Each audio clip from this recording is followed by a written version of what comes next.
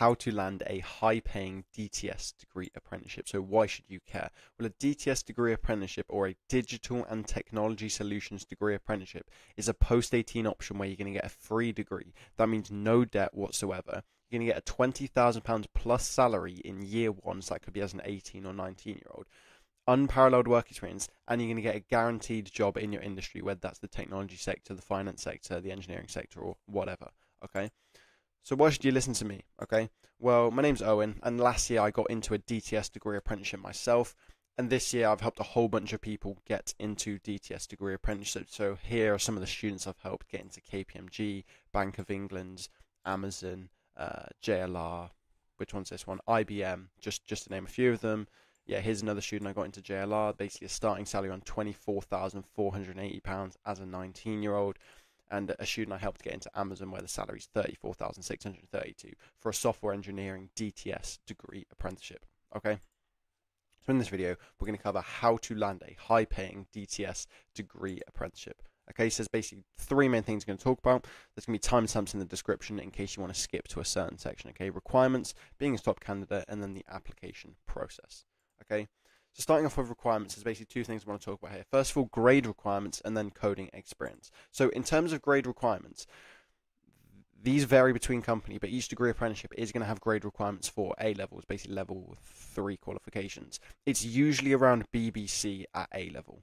Okay, so that's where degree apprenticeships are. Degree apprenticeship requirements are usually much lower than university. So university to go on like a sort of computer science um, course at a really good university, you could be looking at an A star and two A's, three A's, that sort of thing. Um, but with a degree apprenticeship, usually the grade requirements are much lower. They're usually around a BBC sort of B's and C's sort of level, which just takes a bit of pressure off your exams it can be as high as AAA at the top finance companies, but usually that's as high as it goes, and it'll never really go to an A star or anything like that. You won't have to do that for a degree apprenticeship. So I'd recommend checking for each company when you go to apply just to see what their specific um, requirements are. But sort of as a rule of thumb, if it's like the top finance company, it's probably going to be like three A's. But every other company, like 80% of the other companies, it's going to be somewhere around the B's mark, the C's mark, something like that. The next requirement is coding experience. So let me give you give you a bit of background about myself. When I got my DTS degree apprenticeship offer, I'd never done computing GCSE, I'd never done computing A level, and I hadn't mastered any coding language at all. Okay, I'd done a couple of random courses, but I'd forgotten all of the stuff from the course. I couldn't really code anything for you right then and there and that's absolutely fine, okay? Because for most companies, you don't need any coding experience, okay? And I'll just put a disclaimer out here. At like the top finance and technology companies, they can test your coding skills in the application process. Okay, so for example, Goldman Sachs is open right now. Their second stage of their application is like a coding assessment where basically the only the top here, you like you have to fully know in advance like Python or JavaScript or C sharp or something like that that you, need to be able to code. Similarly, Amazon have a bit of um, coding required for some of their DTS degree apprenticeships, but not all of them. Um, so that's just something to bear in mind. A couple of companies um, do require some sort of coding experience in the application process, but in general, most companies don't need anything at all. Okay, so I wouldn't worry about it if you've never done coding before. That's absolutely fine because what's more important is a candidate that has a willingness to learn, has adaptability, and a growth mindset. Because the thing is, with software engineering, with the technology industry and all this sort of thing, it's rapidly changing. Okay, there would be no point them saying in their like job description, we need someone who knows Python, because chances are that company doesn't know that doesn't use Python. And even if they do, what happens in like one year's time when some like new innovation comes out and then they switch from using Python to this all new different language, and you you've said and you, and you can only do Python, right? Then it wouldn't be helpful, right? So it's it's less about oh, can you do this specific thing because because the technology industry is so fast moving, they just need someone who can adapt. Because one year you're doing this, then this new thing comes up, then artificial intelligence comes up here, then this comes up here. You just need to be able to adapt. So that's what they're more looking for in a candidate, really. It's do you have that willingness to learn? Do you have that adaptability? And do you have the, that growth mindset? I think that's the three key things which are really important alongside other things like teamwork and communication. But these are the three things that are really important for getting to a DTS degree apprenticeship. You want to bear this in mind, okay? So those requirements. We're going to move on to being a top candidate. I'm going to bear in mind those three things willingness to learn, adaptability, and a growth mindset. So, there's a couple of things that you want to do before you go into the application process just to make sure you have a good experience, you have a good history, you got a lot of skills which you can draw upon in the application process, which is going to make you a top candidate. Because at the end of the day, um, this is a job. They're hiring you for a job, this degree apprenticeship. They want someone who's going to be a good employee, a good worker for their company, who's going to help make the company money okay, he's going to work well within the team, etc. So you really need to be able to show that when you go into the application process, and it all starts beforehand. Okay, so in the months leading up to applying, you need to be doing these sort of things to become a top candidate. So what I'd recommend is work experience. You 100% want to get work experience. Okay, work experience was the number one reason I managed to get my eight degree apprenticeship offers. I actually got eight offers work experience was the number one reason, okay? Because I learned so much stuff while doing work experience. I've spoken to degree apprenticeship recruiters, and they also just say work experience shows a willingness to learn. Remember that that's a key word we said here. Degree apprenticeship recruiters have told me that if you do work experience, it shows you have a willingness to learn. It shows you take initiative, and it shows you're um, sort of committed to your development and your growth.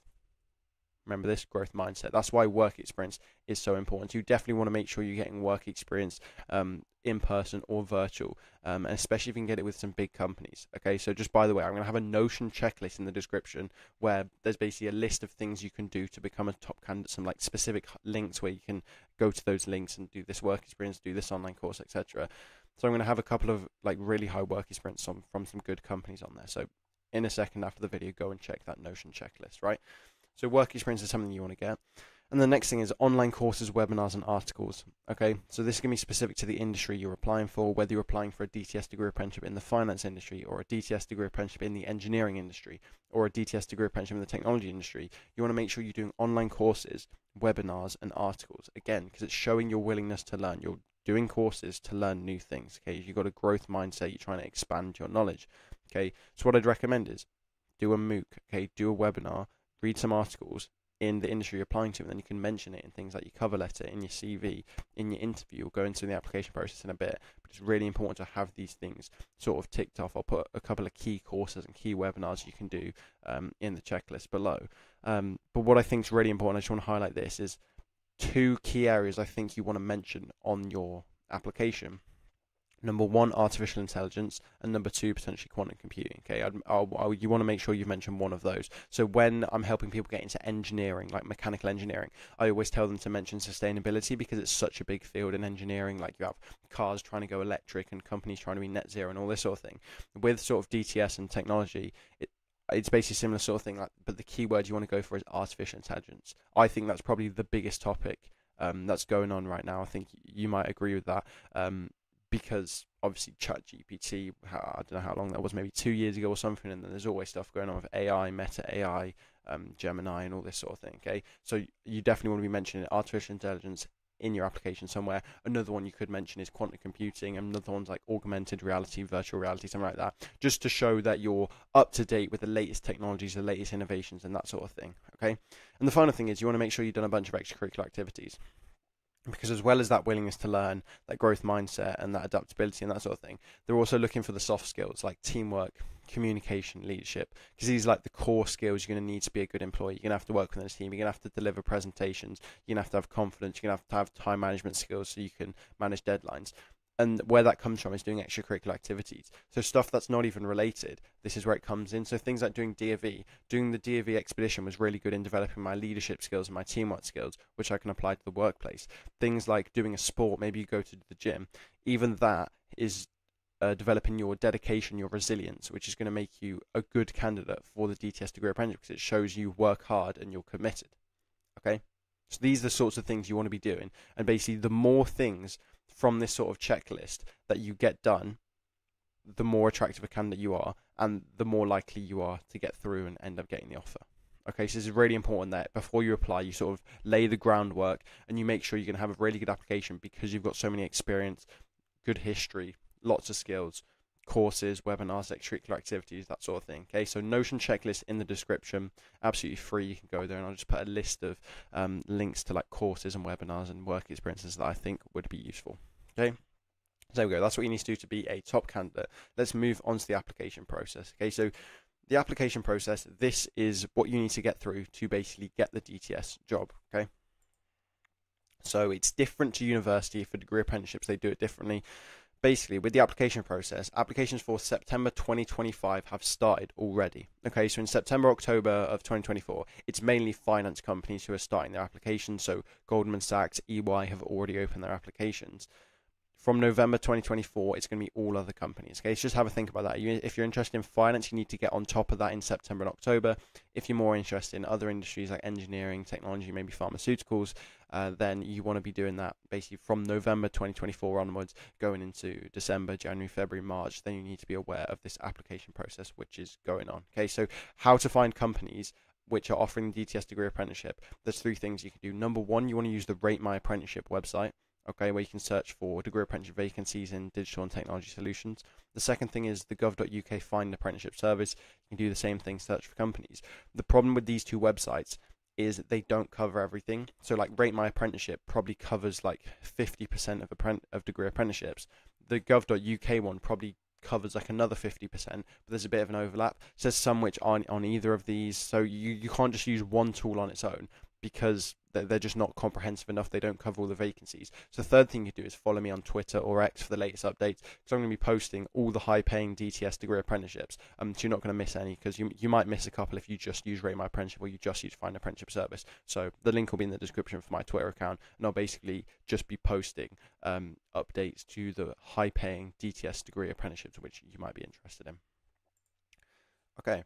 So now in terms of the application process, there are four stages of the application process which you need to get through. Okay, so it's going to be the initial application where you can end up having to submit something like a CV, a cover letter, application questions. Then if you're successful, you might go through to some sort of intermediate stage that could be psychometric testing, a video interview, and then it's an assessment center. And this is where you're going to have to do an interview, you're going to have to do a presentation to some professionals in your industry, you're going to have to do a case study task in front of um, sort of a, a, profession in your industry, and also group exercise. We're going to have to work with other candidates and basically come out on top and be the best candidate. Okay, so that's the application process. Um, pretty lengthy, especially when you're applying to a lot of companies. I recommend applying to about 10 plus degree apprenticeships. So you, you want to th- think about 10 plus DTS degree apprenticeships that you can look for. I applied personally for 13 degree apprenticeships. That's sort of a rough guide you can use there. I just want to highlight something, okay? So with this application process, it is very competitive, okay? Very competitive. The JLR Digital and Technology Solutions degree apprenticeship. This is a very popular one. Uh, you can be going to university with Warwick, which is top five in the country um, for computer science. You're going to be getting a salary of £24,000 in your first year, and it's going to rise every single year after that. It is only the top 3% of candidates who actually succeed in getting an offer here. Okay, so it's very competitive, very, very competitive. Let me show you another one. JP Morgan. They have two degree apprenticeships, technology, and then they have like a technology is the DTS one. They have a DTS one and then like a different sort of financial services one. With their degree apprenticeships, the like average ratio for getting into it is the top 0.7% of candidates get in. Okay, that is super, super, super, super competitive. Okay, so I just wanted to highlight these figures for you. Top 3% for some engineering company, top 0.7%, it gets very high, um, especially when you're looking at finance companies and other technology companies like Amazon. Super competitive. This means you want to make sure you're thoroughly preparing, okay? Because a lot of people go into the degree apprenticeship application process. I, I, I kind of want to say naive. That, that's the word that springs to mind. Sort of naively thinking they can just apply, get a degree apprenticeship, free degree, they're all sorted, life's easy, life's a dream, right? It's a bit harder than that because of these numbers you can see here top 3%, top 0.7%. So you want to make sure you're thoroughly preparing. That previous step where I gave you that Notion checklist, it's literally a case you want to do every single one of those. You don't even want to miss a single one. Okay. And then when it comes to this application process, it's really important that you practice because again, people tell me how they go into like a video interview, they hadn't prepared at all, they didn't know what was going on, and then they got rejected you want to make sure that everything you go into, you've thoroughly researched. Okay, so maybe you've watched videos, you've done research online, you've asked people um, how to, how to succeed, how to do well. You've also practiced it, and this is especially important with the assessment center. So I just want to highlight this with things like the assessment center. When you're going to have interviews, it's all well and good like watching videos on interviews, maybe like researching a bit online about interviews, but you can't beat practice you can't be doing some mock interviews beforehand with some like realistic questions it's the same with like the group exercise or doing your presentation. It's all well and good to do the research and just listen to how you can do well. What's really important is practicing. So this is what I want to stress to you the most. If you want to get into some of these high-paying DTS degree apprenticeships, top 3%, top 0.7%, you really need to put in the effort to thoroughly prepare. and practice. Okay, that would be my number one advice to you. Okay, so there we go. Those are the three things covered about how to get a DTS degree apprenticeship. Those are the three steps. If you want to watch another video now on how to specifically get through the application process, how to pass every single stage, then you can click there on the left. And if you want my one to one coaching to help you get into some of the high paying DTS degree apprenticeships, so you can be one of the testimonials I mentioned earlier, click there on the right. Feel free to leave a like if this video gave you value. And thanks for watching. I'll see you in a bit. Peace out.